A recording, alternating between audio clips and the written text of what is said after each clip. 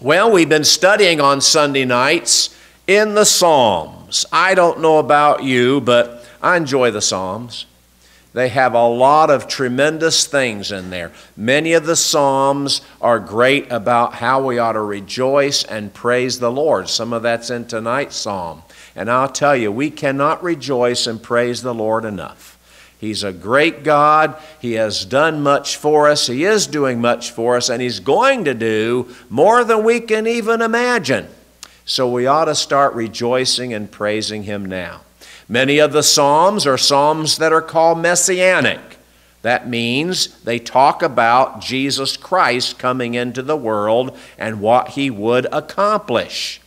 Many of the Psalms are given to us to remind us of God's protection and care. I love Psalm 46 1. God is our refuge and strength, a very present help in trouble. And isn't He? God's right there when you need Him. He always absolutely is. And so some of the Psalms are that way. Now, some of the Psalms, like tonight's, are called millennial Psalms. They really look ahead to what is coming in the future for God's people Israel. But of course, we as God's saints will be there too in the millennial kingdom. So there's things that are said that ought to encourage us about what is coming for us as well in these Psalms. Other Psalms, as you know, are Psalms of rebuke.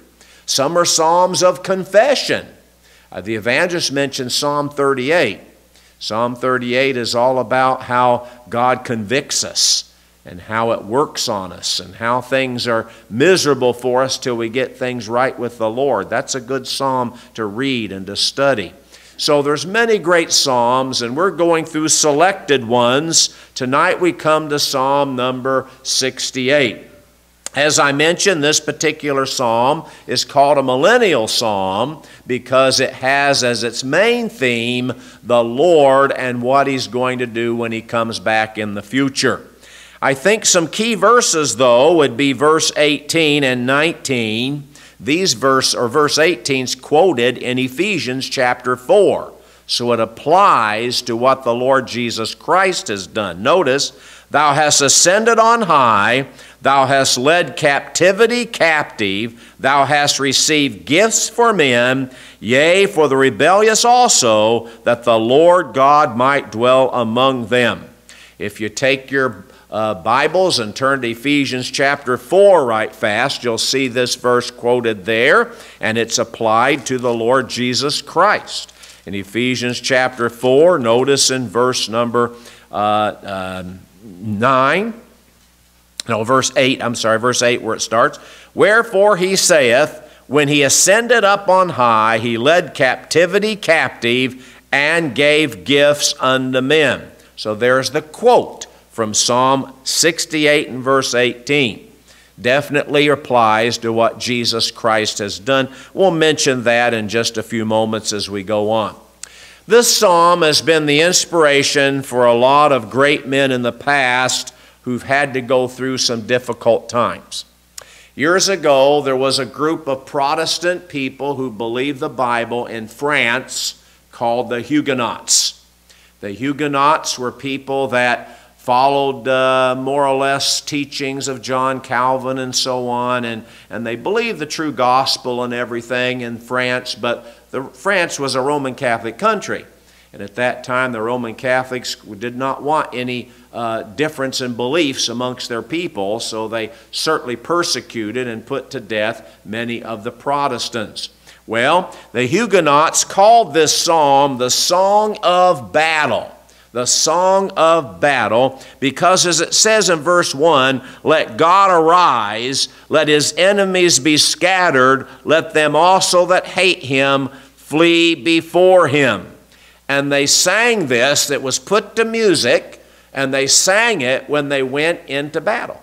The Huguenots used this when they went into battle and fought their wars. It was, sung, was sung regularly from 1519 until 1605. Then a little later, in 1621, there was a big siege of a place called Montauban, and a Protestant soldier was serving there in the king's army. He remembered the tune which had not been sung for several years, and he decided to sing it. And he sang, Let God arise, let his enemies be scattered.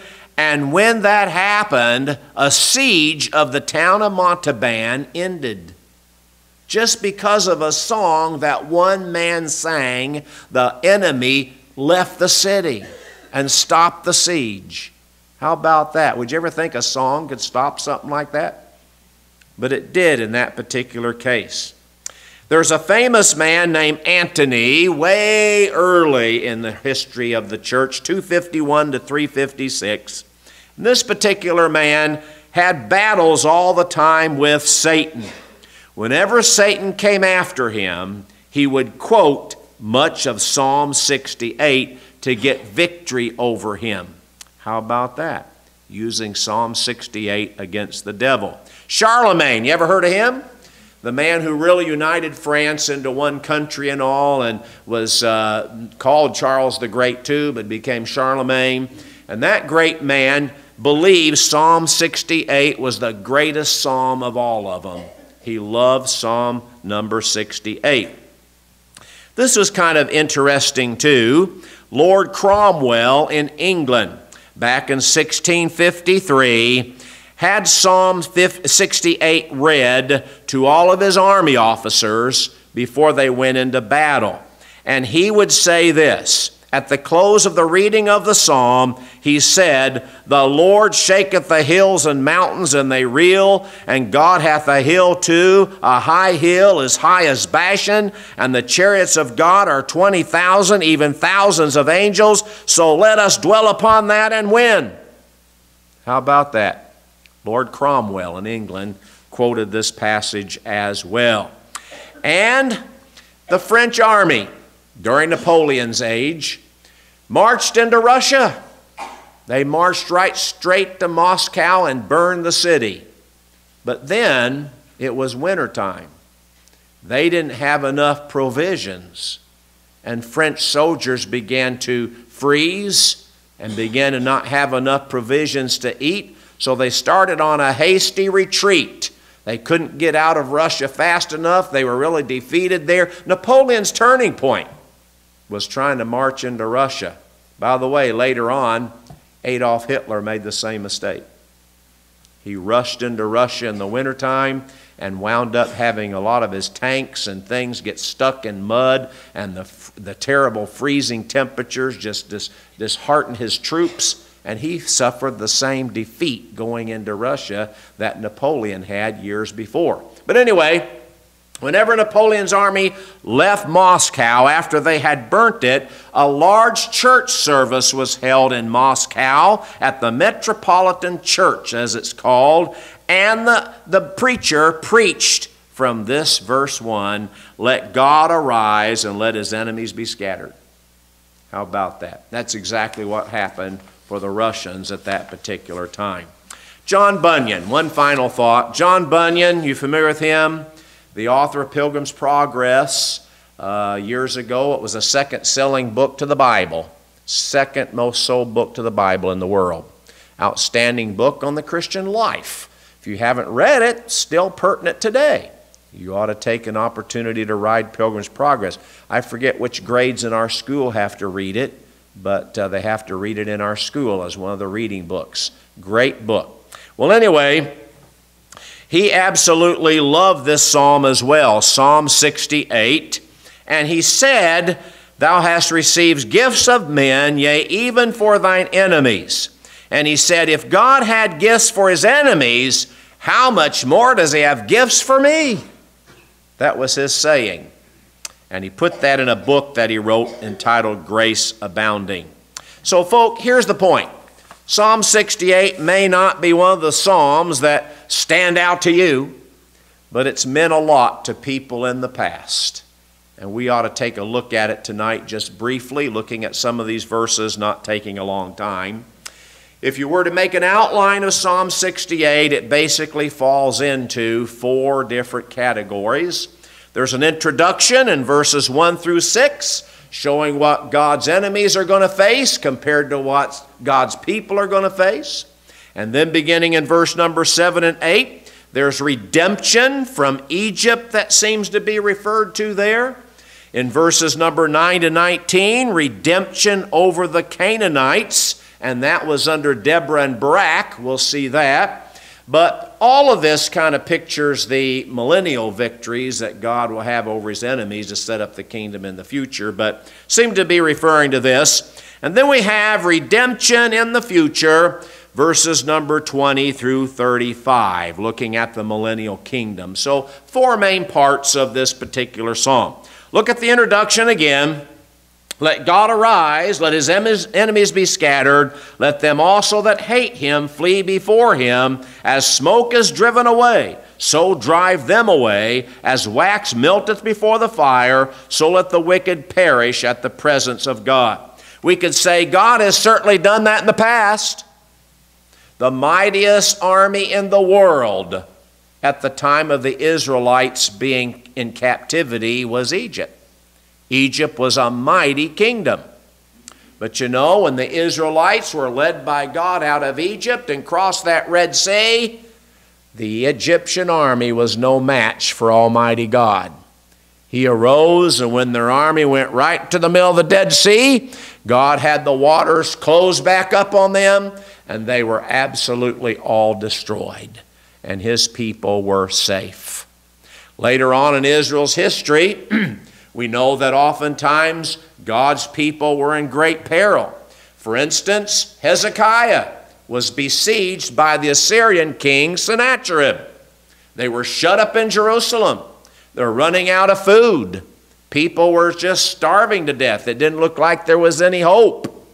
But Rabshakeh, one of the leading men under Sennacherib, came up and defied the living God before the people of Israel at their wall. Said, Don't trust in God. Hezekiah's God can't deliver you. Woo! What a challenge to put forth to God. Says, Look at all the other gods we've conquered. Well, they conquered all the other gods because they weren't gods. But he defied the living God in heaven. Hezekiah prayed. You remember his prayer? Just read this in my devotions, 2 Kings chapter number 18. And uh, he prayed, and guess what? A death angel came, wiped out overnight 185,000 men. Can you imagine? I always like the verse that says, They woke up in the morning, they were all dead corpses. Well, basically, not all the people died. We know that Sennacherib himself escaped and went back to his uh, main city of Nineveh. And at Nineveh, there, his own sons killed him. Killed him as he worshiped in the temple of his God. His own sons killed him. So, you know, you defy the living God, watch out. You never know what's going to happen. It just Brings me even to modern day and time. I saw this in my own life years ago, and I've told you this story before Faith Baptist in Danville. Faith Baptist Church in Danville, when my dad pastored there in the 1960s and 70s, they had a tavern next door. And the people got burdened about that tavern People were coming in there and being loud and noisy even during church services, throwing rocks and hitting the church building and stuff. So they put these great big signs on the side of the church that said, Wine is a mocker, strong drink is raging, and whosoever is deceived thereby is not wise. Proverbs 21. They put a huge sign, eight foot sign on the side of the church building. So everybody came in there, saw that sign. And some of those people got kind of convicted. And they told the owner, owner of the tavern, they said, You know, that sign might be hurting your business. When people drive up there and see that sign, some of them are turning around. It's bothering them. So one day, the owner of that tavern and the bartender over there came over to see my dad. At that time, he had an evangelist there for a revival meeting uh, Evangelist Lyons, uh, great evangelist of the past. And anyway, I was home at the time, and they came over to my dad's office. And the owner of that tavern told my dad, he says, Look, we're tired of you trying to give us a problem with our business. You take down your signs, or we're going to put your church out of business. We will put your church out of business. He said that. Let me tell you something, that's quite a challenge to God to say something like that. Within six months, the owner of the tavern traveled to Arizona on a trip and was shot to death. The bartender developed cirrhosis of the liver and died within one year of seeing my dad. You play around with God, and God can arise up and absolutely take care of you. I'm thankful we got a God that can take care of us. Amen? He can deliver in amazing ways. Look at verse number three. But in contrast to what God can do to the wicked, let the righteous be glad. Let them rejoice before God. Yea, let them exceedingly rejoice. Why? Because God can give us victory over our enemies. And you know the worst enemies we have, folk, and I preach on them this, uh, preach about him this morning is the devil and the world and the flesh. Three great enemies we face. But you know what? God's more powerful than all of them. They can be overcome. If you will absolutely know God's word, and like I preached this morning from Matthew 4, Jesus overcame the devil by quoting scripture to him. Three times when he tried to tempt him, Jesus overcame him with scripture. So when you know the word of God and you hide God's word in your heart, then you don't have to sin against God. You can overcome temptation. So definitely we ought to rejoice that we can have victory over the forces of evil. And then a great verse in verse 5 A father of the fatherless and a judge of the widows is God in his holy habitation. There was another, I, I had several more illustrations to give you, but there was another man back in the uh, uh, 1500s that was caught and was going to be hung for his faith in Jesus Christ. When they were ready to hang him, he had a wife and children at home. They said, Do you have anything to say?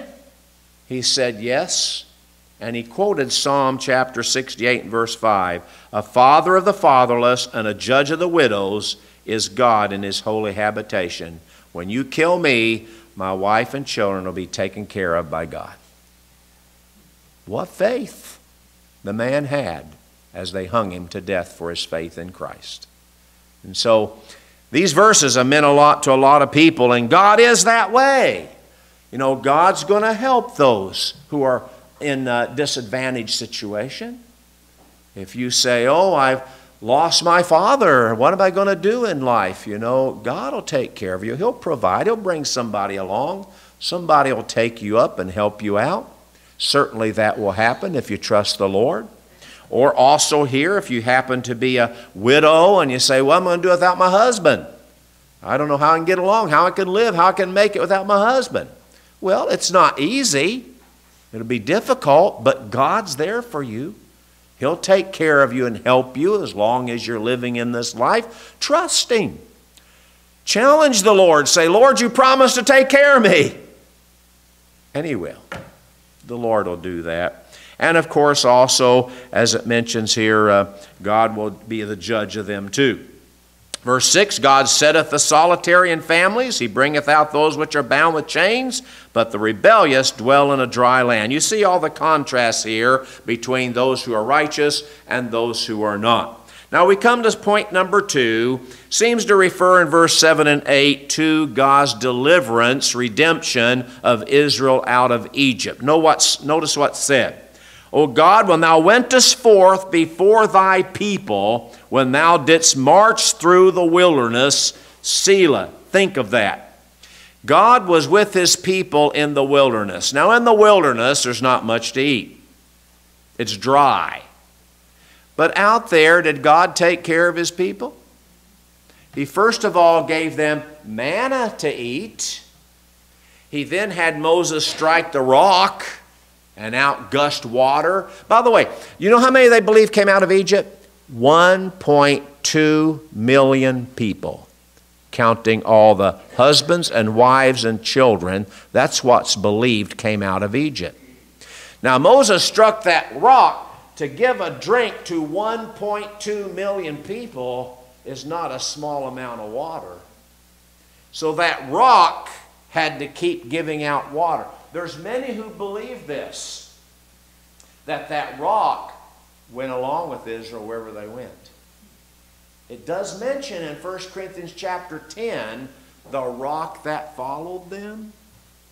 And so, very likely, God provided for his people by having that rock. Can you imagine? One big rock. There's your water fountain. Never runs dry. God keeps water pouring out of that rock all the time. Whatever water you need, it's there for you.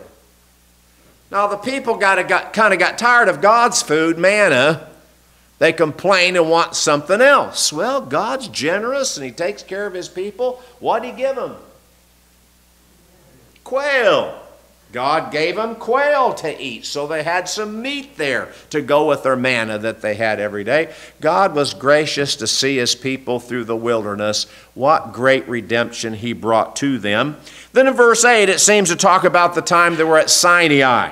The earth shook, the heavens also dropped at the presence of God. Even Sinai itself was moved at the presence of God, the God of Israel. He brought them to Mount Sinai, and what did God give his people there? The law.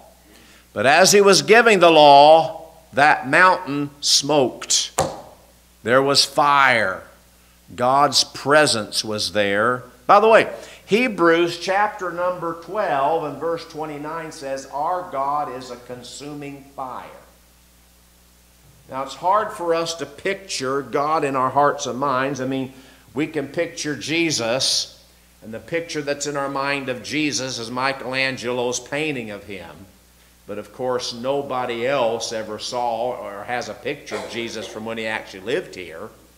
I mean, for a thousand plus years, Michelangelo didn't paint that to about, what was it, 1500 and something? I think it was in the 1500s when he painted that picture of Jesus. And everybody in their mind, oh, Jesus, yeah, I know what he looks like. Well, you're looking at a painting of Michelangelo.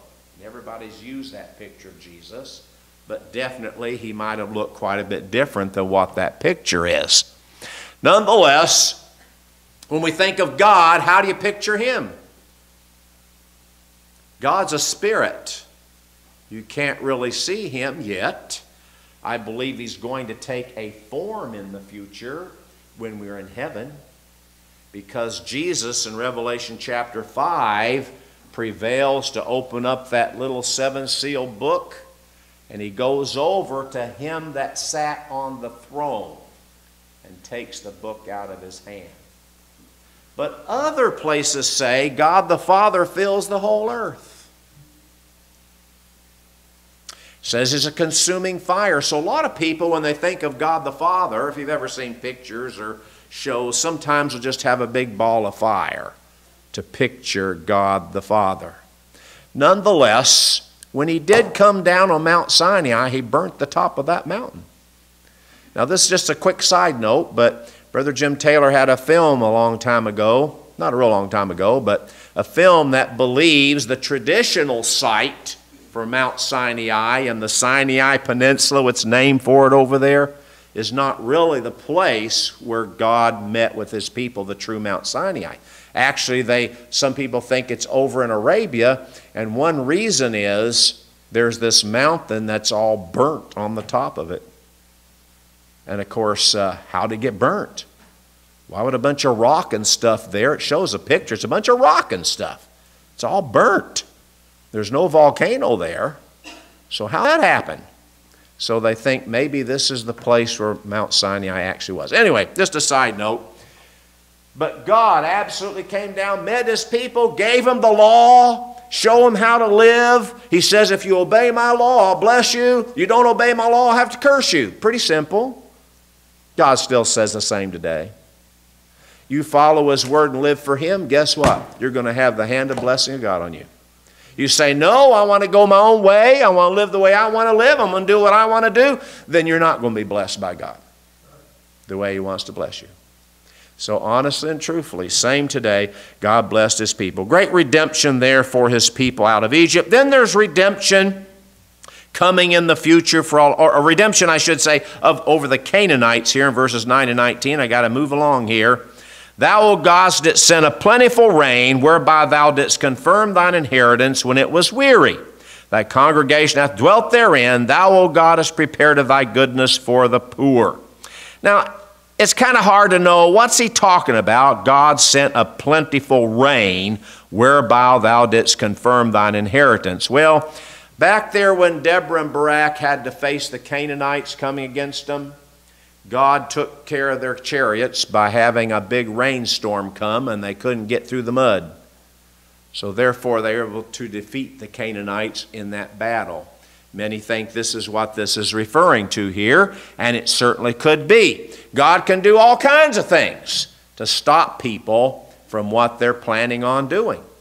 And that's amazing to see what he's able to do. I like verse 11. The Lord gave the word, great was the company of those that published it. You know, whenever God gave the victory to Deborah and Barak, you'll find over there in the book of Judges, I think it's chapter 5, maybe it's chapter 6, I can't remember for sure, a big long song that they sang to the Lord, talking about his great deliverance. So it's thought maybe lots of people took up that song and just told people what God did to give them that great victory over the Canaanites who had oppressed God's people for over 20 years of servitude. God gave a great victory, and so they sang that song. Guess what? God gives us a lot of victories. The greatest one's our salvation. Don't you think we ought to do that? The Lord gave the word. Great was the company of those that published it. I'd like to think that'd be true at Calvary Baptist. Great is the number of people that will publish the great message of salvation that God has given to us. Well, let's move on down through here. I like verse 17. The chariots of God are 20,000, even thousands of angels. The Lord's among them, as in Sinai in the holy place. You ever thought of how many angels there are? We don't know. Over in the book of Revelation, it mentions there are 200 million at one particular place there, 200 million angels. Here it mentions 20,000 angels. You know, if it only took one angel to kill 185,000 Assyrians, I think if there's just 20,000 angels, they could take care of the world, couldn't they? But I don't know how many angels there are. But the point it's trying to give here is that the Lord uses angels to help his people. You ever thought about the fact that we don't worship angels? We don't talk about angels a lot, but in Hebrews 1:14 it says angels are ministering saints sent forth to minister to those who are the heirs of salvation. Who are heirs of salvation? We are. So the angels are spirits that minister to us. And I don't know what all they might do for us, but when we were little, over in Matthew 18, Jesus said we all had an angel watching after us. There was a little song that I used to learn when I was a little boy. My parents taught it to me. Um, uh, day. Oh, now I forgot. I was gonna, I was gonna sing it to you tonight. You're gonna be saved. That. All day, all night, angels watching over me, my Lord. All day, all night, angels watching over me. You ever heard that? Few of you have. Truth. Truth. Here it is. Angels are watching over us. What a great verse that's true. Now, verse number 18 Thou hast ascended on high, thou hast led captivity captive, thou hast received gifts for men. That verse we know applies to what Jesus Christ has done because of Ephesians chapter 4. What does it mean that he led captivity captive, as it says here? Perhaps a couple of thoughts. First of all, the Lord Jesus Christ and his great work on Calvary and his shed blood and his death, burial, and resurrection has allowed us to be freed from captivity to sin.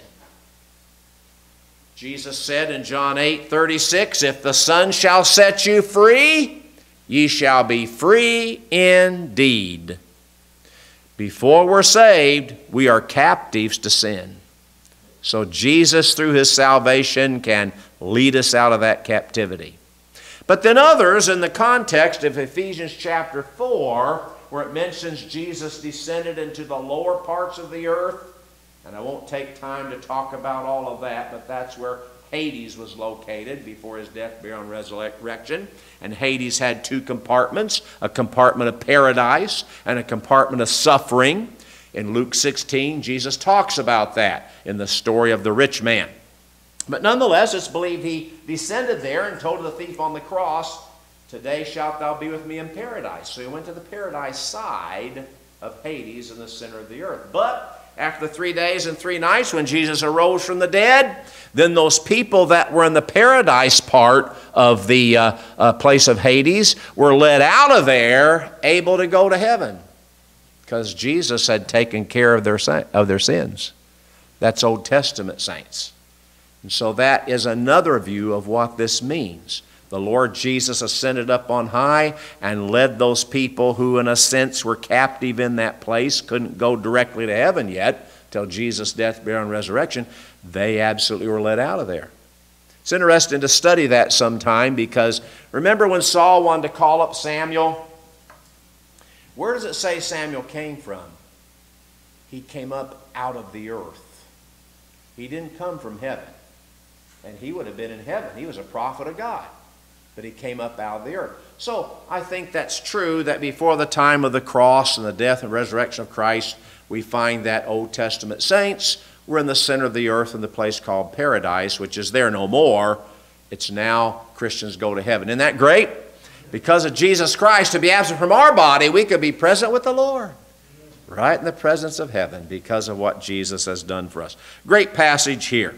Well, as you go on down, beginning in verse 20 to verse 35, and I'm not going to be able to go through these verses tonight because of time. We want to remember the Lord on this first Sunday of the month and the way He tells us to. But in the rest of this psalm, it talks about specifically the things that the Lord does in the future for His people, setting up His millennial kingdom. Notice verse 20 He that is our God is the God of salvation, and unto God the Lord belong the issues from death.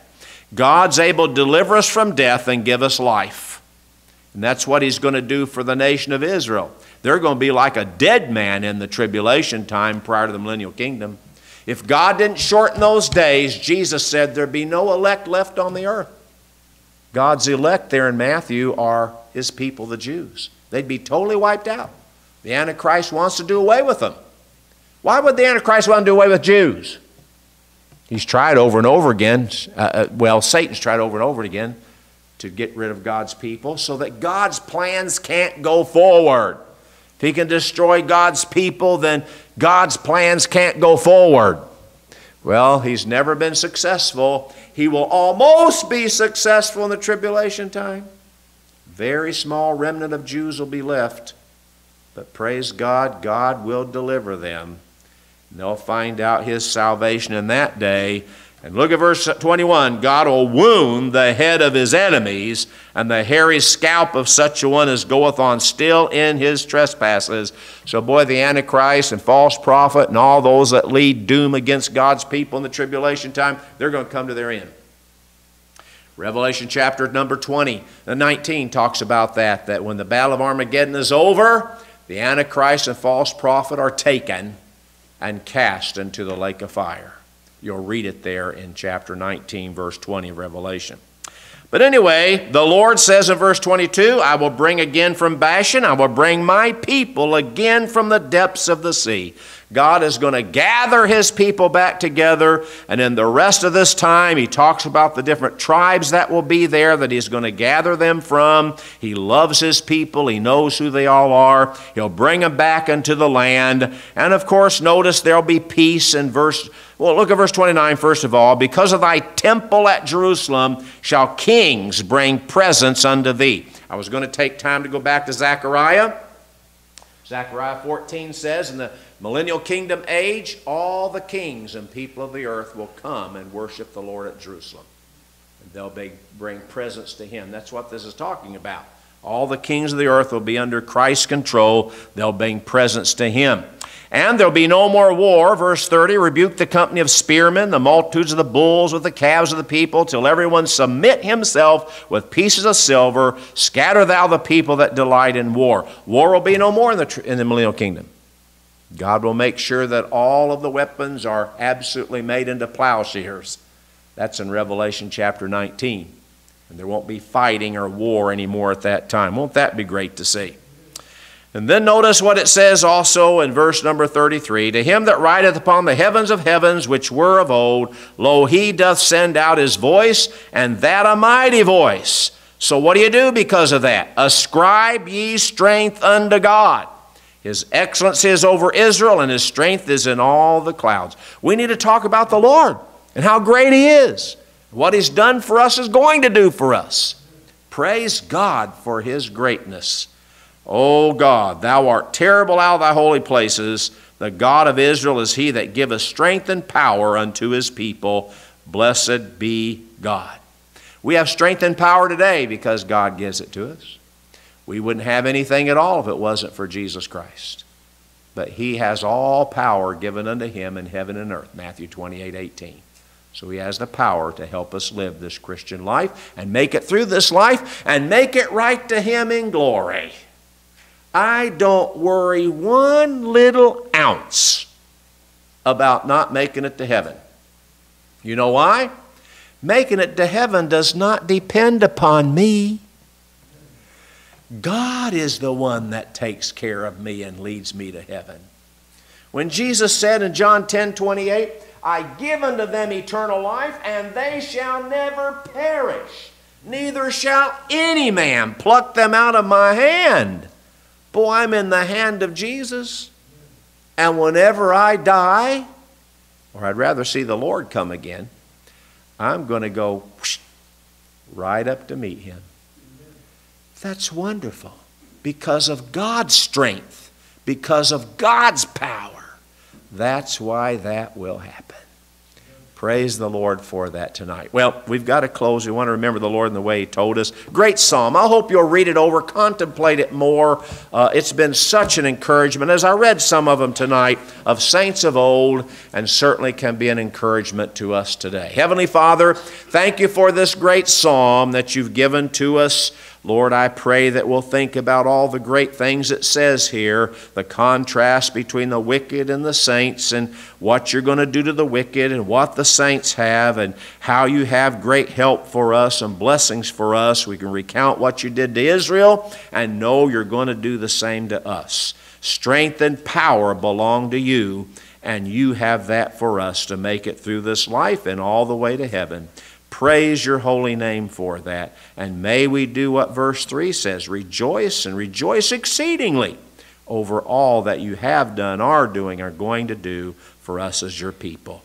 Bless us now as we remember you in the way that you told us to. In Jesus' name, amen. All right, let's just stand for a moment and. Uh, boy,